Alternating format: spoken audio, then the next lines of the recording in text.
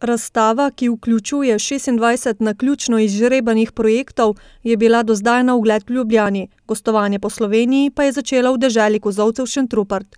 Z njo želijo ljudi ozavestiti, da so uspešne zgodbe tudi v Sloveniji in da dejansko smo lahko ponosni, da, tudi v Sloveniji znamo počrpati evropska sredstva, znamo z njimi narediti pač projekte, uspešno končati, in, dejansko s tem, z njimi kraj veliko pridobi.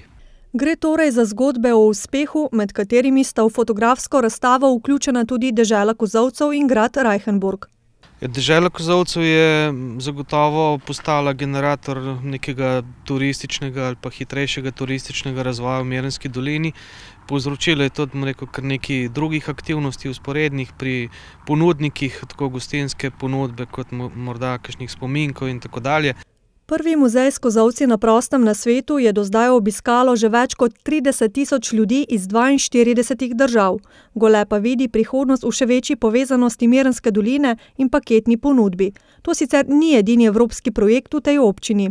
V lanskem letu smo zaključili tri projekte, eden v investiciji same občine, to je čistilna naprava na Dobu, potem dva projekta energetskega značaja preko Energetike Šentrupert, to je elektrarna na lesne sekance in kotlarna na lesne sekance. Stekel pa je tudi projekt lesnopredelovalnega centra na puščavi, za katerega bo šlo prek dva milijona evrov evropskih sredstev.